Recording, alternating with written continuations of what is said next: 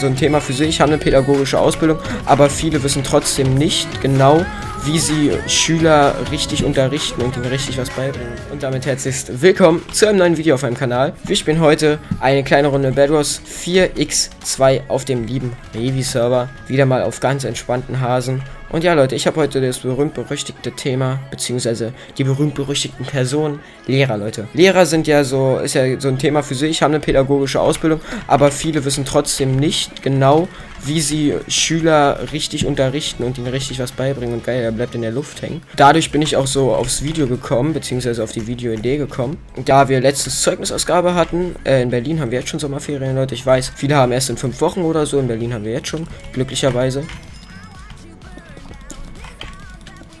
Und daher hat unsere Lehrerin im Prinzip bei der Zeugnisausgabe, ja, wie soll ich sagen, die halten ja davor mal Reden, bevor sie die Zeugnisse gefühlt ausgeben, halten sie immer so eine Zwei-Stunden-Rede. Und das hat unsere Lehrerin auch gemacht. Und bei mir war die Rede ein bisschen besonders, würde ich sagen. War ja klar, dass es wieder bei mir ist, Leute. Ich weiß auch nicht, was unsere Lehrerin mit mir hat. Ich habe, glaube ich, schon relativ viele Stories über äh, die Schule erzählt.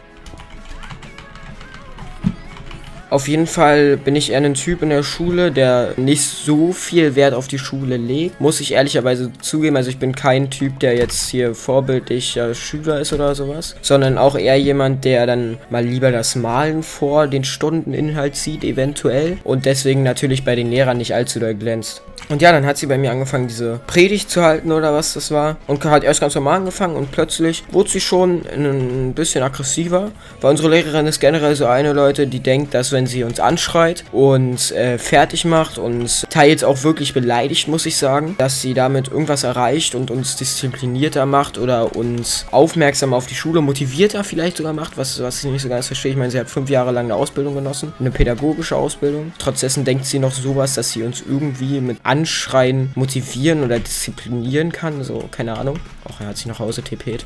Ernsthaft. Auf jeden Fall hat sie dann angefangen, mir die Predigt zu halten. Und sie ist in dem Moment ja erst tot. Ich würde sagen, wir sehen uns gleich in der nächsten Runde wieder. Bis gleich so in der nächsten Runde angekommen. Auf jeden Fall ist sie dann vom Ton, währenddessen sie das erzählt hat, immer ein bisschen aggressiver geworden. Auch ein bisschen ausfälliger. Sie meinte so, dass ich ja ein unverbildlicher Schüler bin, dass ich absolut freche Antworten geben würde und nie im Unterricht aufpasse. Obwohl ich wirklich sagen muss, Leute, ich habe im letzten Halbjahr jetzt auch mal richtig durchgezogen, weil ich an meinem Halbjahreszeugnis gesehen habe, dass alles so ein bisschen schleift, alles so ein bisschen hängt und ich auch wirklich, ich meine, ich bin jetzt 9. Klasse, ich komme nächstes Jahr in die 10. Und in der 10. ist ja wirklich schon entscheidend, was man für Noten schreibt. Daher habe ich im letzten Halbjahr auch noch ein bisschen reingehasselt, da ich echt nicht von dem Notendurchschnitt so bleiben wollte. Auf jeden Fall meinte sie dann so, dass ich ja, wie gesagt, freche Antworten gebe und disziplinierter Schüler bin, dass ich ja nichts für die Schule machen würde, wirklich gar nichts und dass ich ja nicht aufpassen könnte, also so ein richtiger Miss in einem richtig, richtig aggressiven Ton. Ich weiß nicht, wie ich das beschreiben soll, Leute. Kennt ihr ähm, von Fuck You Goethe? Diese eine Lehrerin, die von der 10b so ein bisschen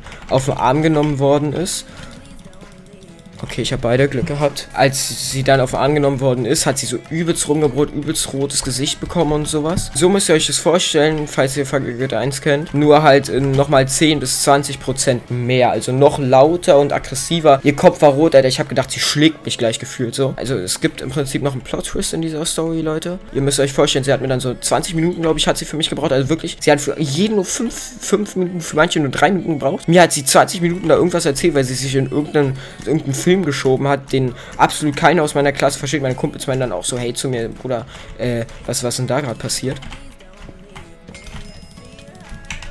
Und ja, nachdem sie mir dann 20 Minuten eine Predigt gehalten hat, hat sie mir mein Zeugnis gegeben und jetzt kommt der Twist an der ganzen Sache, Leute. Was mich auch dazu bewegt, diese Story hier zu erzählen, weil es einfach absolut kackendreist ist, meiner Meinung nach. Sie hat mir mein Zeugnis gegeben, Leute, und wisst, wisst ihr, was auf meinen Sozialnoten stand?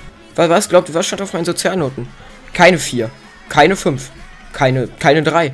Meine Sozialnoten waren voll mit 2. Also war ich im Prinzip ein guter Schüler für die Lehrer, die die Noten gemacht haben. War ich ein guter Schüler, im Prinzip die ganzen Lehrer, die Fachlehrer treffen sich ja und dann machen die eine Besprechung und geben halt die Sozialnoten. Und ich war komplett 2. Ich war komplett ein Zweier-Schüler, ein guter Schüler vom Sozialen her. Dafür hat sie mir davor, bevor ich mein Zeugnis bekommen hat, hat sie mir dafür, dass ich ein guter Schüler bin, 20 Minuten in einem aggressiven, schreienden Ton eine Predigt gehalten, was ich ja für ein Kackschüler bin, das gar nicht geht, wie ich so drauf bin und dass ich mich ja nicht so verändern soll. Wir haben im Prinzip einen Schüler, der heißt Tom in unserer Klasse, der malt nur, gibt freche Antworten, ist nicht unbedingt Vorzeigeschüler, aber von der Art her ist er ganz korrekt. Und da hat sie mir halt gesagt, dass ich nicht so werden soll wie er.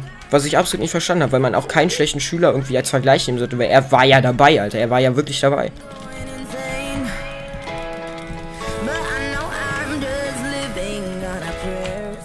Oh, die haben wir. So, keine Ahnung, ich kann diese Art gar nicht nachvollziehen, dass sie mir eine 20 Minuten Predigt halt in einem aggressiven Unterton und das auch wirklich mit einem aggressiven Gesichtsausdruck dafür, dass ich am Ende nur zwei auf dem Zeugnis habe. So, keine Ahnung, Leute. Falls ihr komische Stories aus eurer Schulzeit habt, schreibt sie mir mal in die Kommentare, würde mich wirklich interessieren. Und falls ihr den zweiten Teil wollt, wo ich Schulstories von mir erzähle, die nicht so ganz in das Bild einer Schule gepasst haben, könnt ihr mir das auch gerne in die Kommentare schreiben, Leute. Ich würde sagen, ich hoffe, euch hat es gefallen. Bewertet gerne das Video und bis zum nächsten Mal. Ciao.